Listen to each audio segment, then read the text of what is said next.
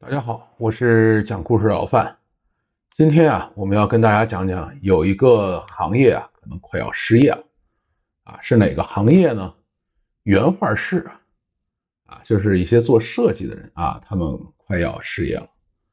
这个被谁替代呢？一定是被这个 AI 嘛，对吧？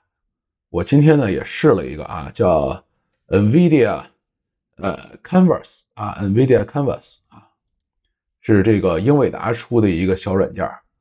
哎呀，那简直是神的，就是它上来给你一个界面，就是如果你是这个呃 Windows 电脑啊，不 Mac 是不行的啊，Mac 没有英伟达显卡啊，Windows 电脑你是英伟达的这个。啊，RTX 系列的显卡，比如二零六零往上的这种显卡，哎，你可以到网上搜一下，然后去下载这个软件。哎，像我是没有任何画画的这个天赋的啊，这个就也不叫没有天赋吧，这个就是说反正没有这个技能吧，也没有做过训练。我可以随手画，就可以画出一个像照片一样那么漂亮的这种这个各种风景啊，都是都可以画的非常非常好。哎，但是它就是你必须要有英伟达显卡才能干。哎，你只要画画完了以后，你还告诉他是，呃，你还可以挑，是我是要白天的、晚上的，这个各种光的，然后你都可以去搞。哎，上来你说我这是天，那是山，这是河，哪个地方是沙地，哪个地方是种点花，对吧？然后有没有瀑布什么，你都可以去设。设完了以后呢，他通过人 AI，然后给你做一个逼真的像照片一样的那么一个一个一个一个图出来，啊，说这就是你要的这个呃地方。而且它做的还做成那个什么的呢？PSD 就分层的，你可以把这个东西直接导到，就是它生成完了以后，你可以直接导到这个 Photoshop，然后再接着进行精细的修改。这个我以后再需要这种风景图啊，或者需要什么这个的时候，哎，我也会干啊，不需要去照相，不需要去求人啊，咱自己就能搞定啊。这个事儿还是一个挺有意思的事儿。哎，但你说这个你也就能画风景对吧？你别的呢？比如说你现在需要个人儿，需要个什么东西咋办呢？对吧？你需要画个油画，需要画个卡通，还是需要画一个什么其他东西怎么办呢？哎，这个 AI 也有啊，也有。他们呢是现在大概有四五款啊，这个大家可以去搜。哎，他们可以来干这件事情。哎，比如说呢，他们可以干嘛呢？你可以写一句话给他。这句话是什么呢？叫做请给我画一个。呃，叫什么折翼的天使，或者说什么雪海中的灯塔，就是你要写一个这样有诗意的话给他。然后这是第一句话啊，不是，这还不是第一句话，这是第二句话。第一句话是什么？你要告诉他你要画什么画，油画啊，这个美术画、照片还是这个卡通画？你首先要告诉他风格啊，然后呢说，哎，呃，具体要描述一下我到底要画个什么。然后第三步是写什么呢？第三步啊。写说，我到底是上哪儿去抄哪个艺术家的风格，对吧？比如说，哎，我要抄莫奈，还是抄梵高，还是抄这个达芬奇？哎，你你要写一个这样的东西。达芬奇画画的吗？不知道啊。这个这个我艺术水平一般啊。然后呢，你说，哎，我又想像莫奈，又想像梵高，怎么办呢？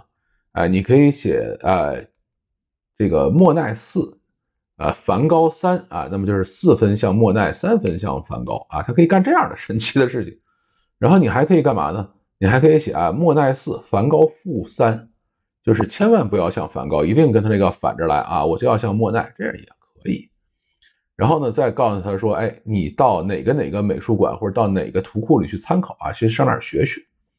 然后呢，这个给我这个叫什么呢？这个用用一个什么样的基色，比如蓝色的基色还是黄色的基色，给我一个基色的这个呃底色啊，就是你最后整个这个颜色要偏这个颜色，然后告诉他，哎，你把这个东西输给他以后，哎，他就慢慢的去给你画去了，然后你还告诉他说，一次给我画十幅，然后我自己再挑一挑，对吧？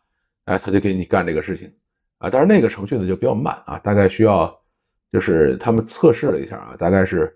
跑了一个多小时，然后把它画出来。哎呀，那个，当然我我肯定没法说，你说这个东西到底是像莫奈还是像梵高这事，你问我是问到鱼盲了啊。但是呢，啊，这个东西已经可以做了。包括中国啊，就是清华大学也做了一套，但是那套呢，最后评价是差了一点点啊。还有一些甚至有这个手机 APP 啊，我还装了一个，但是我装完了以后没让我用啊，不知道怎么回事。哎，装上以后你就可以在上头给他提这种要求啊，说呃，请给我画一个什么什么东西，哎，你但是你要把这个东西写的很诗意啊，写的有意境一点点，然后呢，让计算机去理解完了就给你画去，对吧？它反复的迭代画，画完了你不满意可以让它重画啊，这个事儿是没毛病的，对吧？再加上这个什么，像刚才我去试的这个叫 NVIDIA 呃 Canvas，对吧？这个东西也是，就是说我需要一个风景，我随便手手手画一下就行了。这个非常非常漂亮啊，而而且这个这个我就不跟大家展示图了啊，因为我说了半天漂亮，然后你们又觉得我画的不好看，好像是人家工具没做好似的。这个只能说是这个我的审美也就这样了啊，我因为我没经过这个训练啊，它确实是做的非常非常漂亮。因为我前面也跟大家讲过这个 AI 替大家写程序的事儿啊啊，那个也真的是非常非常神奇的一个经历啊，因为我前一段时间不是已经开始开通来用了嘛。也跟大家稍微的分享一下这个 AI 替我们写程序的故事。我呢前几天看了一个这个网站啊，就是他们那上头有好多算法题，因为我有时候会做一两道，然后来这个活动一下大脑。然后我就看到了一个题是什么呢？哎呀，这个这个有难度了啊，因为我要跟很多可能听我节目的人不是程序员啊，我要跟大家讲一讲这个怎么编程的事情啊。这个这个事儿是一个对我的考考验，也是对大家的一个考验啊。请耐心往下听，啊，他做一个什么题呢？数独啊，就是大家知道这个数独是什么东西吧？就是九个格子啊，横着九个，竖着九个，一共八十一个格子，然后呢往里填数字，最后达到一个什么效果呢？达到一个就是这个呃，所有数字都是一到九啊，不能填到这个零以下的和这个九以上的数都不行啊，就是一到九。然后呢，这个呃要求你填进所有数字，这一行不能有重复的，这一列不能有重复的。然后这个呃九块啊，就是呃每每每九个格子呢分成一个小方格啊，这个比如说呃你是九九八十一格嘛，这是九个九个九个，然后这样它是一共有九个这样的小方格叫 square 啊，这个里头不能有重复的啊，它大概满足了这三个要求。然后这种数独的题呢，一般会给你填好一些数字，然后让你填剩下的数。这个正常的你是可以进行这个有很多算法，你可以去。呃，也有培训啊，大家可以去做。然后这个呢，在西方也很火，国内的话应该火过一段时间，现在应该没什么人玩了吧？玩的人比较少了。数独，然后呢，它这个题要干嘛呢？让我们写一个程序，对数独题进行这个数独的这个题目啊进行暴力破解，对吧？我们不需要去学这个数独的这个解法是什么样的，什么这些都不用管，就生生的暴力破解。哎，我说我来试试啊，这个我就看了这么个题。那这个题，你像对于我们来说很简单嘛，呃，暴力破解嘛。那我先上来，呃，有第一个空，我先找到啊，这个空是不是？我先把它存进来嘛，说啊，这个数是不是一个空啊？是有数的还是没数的？是个空啊，我就开始往里填数。填几呢？暴力嘛，先填一吧。填完一，然后呢，干什么呢？看一行有没有重复的，一列有没有重复的，你所在这个方块这九个格里有没有重复的？做三次判断，对吧？然后如果这个不对，那怎么办呢？把这一换掉，填二嘛，对吧？它这个程序其实相当简单，就是我这一二三四五六七八九都填一遍，然后找到一个这个第一个能用的，比如说我填三啊，这个三个三次判断都满足了，横着一列一行没有重复的，竖着一列没有重复的，然后一个格没有这个这个九个格没有重复的，对吧？都满足了，然后呢？填下一个格，就把这个三带在里头，就我认为这个已经填过了啊，我就把这个三带在里头，然后再填下一个格，啊，一直填到什么时候呢？说，哎，我把它都填完了，都是对的，那么这个三这就是对的了。那么如果比如说我又填了三五个格，发现哎没有解了，对吧？我把这个又填了几个格以后，发现哎这个已经彻底不对了。那彻底不对了以后怎么办？向后退一格，对吧？那么这个地方比如说原来在某一个格子里填了个五，然后最后发现彻底不对了，那怎么办呢？很简单。哎，往后退，退完了以后把这个地方填成六，然后再试一遍，这暴力破解嘛。然后呢，再再试完六以后，比如说试到九，发现都不对，对吧？我这个最后这个数，我就是一直从一试到九都不对了，那怎么办？再往后退吧，把这个格删了，那前面那个填的三肯定就错了，改成四试试，对吧？这就是暴力破解方式。就是从逻辑上说呢，我们都能想明白，对吧？就是我们先把这填个三，然后呃填个一，发现不对，填二不对，填三对了。然后开始填下一个格，然后发现填不出来了，就把这个退回来。你这三不行啊，再填四，对吧？它是这样的。那么这个这个写程序嘛，那我就开始在这个 AI 的帮助下写程序了啊。以前其实都是要自己写啊，我在 AI 的帮助下写程序。然后呢，写程序的时候呢，我就先写说这个东西啊叫数独，对吧？它英文单词叫叫 Sudoku，还叫什么东西？我忘了那个数独那个英文单词怎么拼了啊？哎，先把这个词写上。然后呢，你首先你要定义一个初始的一个数，对吧？然后我说这是一个数独的数组啊，我就不用不念英文，恶心大家了啊，我就写中文了，跟大家讲中文了。但是我还是写的英文。我说这是一个数独的数组。然后呢，他自己给你填好了九乘九的一个格，对吧？然后我就开始按照那个题目上的这个，呃，这是三，那是五，就开始填了嘛。填了两行以后呢，他就告诉你说这个这道题我认识，然后我给你把剩下的七行都给你填出来，夸夸夸都给你填好了，对吧？我说哦，好开心。然后行，我说那下一个呢？我说这个要这个检查一行是不是都是这个呃对的哈。然后我就写了个函数啊，叫 check row 啊，当然我也可以写。你可以不写这个函数，你可以用刚才我说的那个中文检查一行是否有重复这句话写成注释啊都行。一回车，咔，自己给我们函数生成好了，没毛病，对吧？这个我说啊，这个还比较简单，对吧？我就把这一行拎出来，一个一个比较，然后如果没有重复的，就是对的；如果有重复的，就是呃返回这个错误，不就完事儿吗？这个事儿很简单。哎，那么我说下一步该干嘛呢？啊，反一列，那这事肯定是一样的啊。一行既然你能生成好，一列也能生成好，再往后。